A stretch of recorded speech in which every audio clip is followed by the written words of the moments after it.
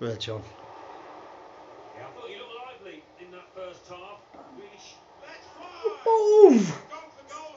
what kind of goal is that? John, that's quite possibly the best goal I've ever seen on FIFA. Look at it. Whoa! That's like the Tony Yeboah of of uh, of FIFA.